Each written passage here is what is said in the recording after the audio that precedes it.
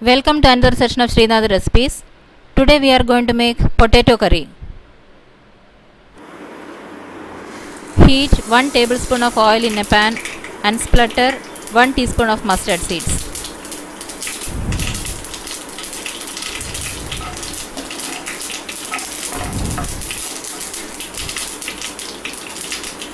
Now add 1 teaspoon of fennel seeds and fry this for some time.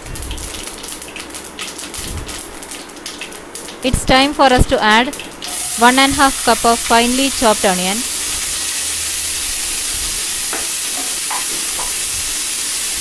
Sort this till it becomes light brown. The color has changed. Now add half a teaspoon of turmeric powder, 3 slit green chilies and some curry leaves.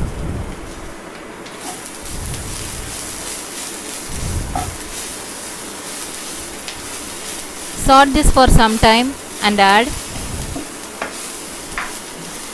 3 cups of water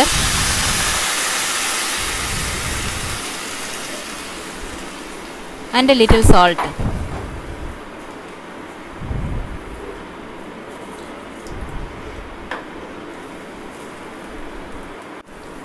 When it's boiling, add 2 cups of boiled, peeled and mashed potatoes.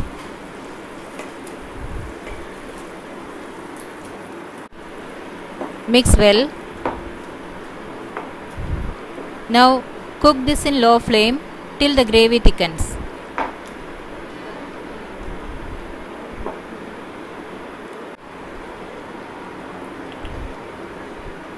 Now it has become thick. Turn off the flame. Heat a little ghee in a pan and fry some cashew nuts. Now add this to the gravy.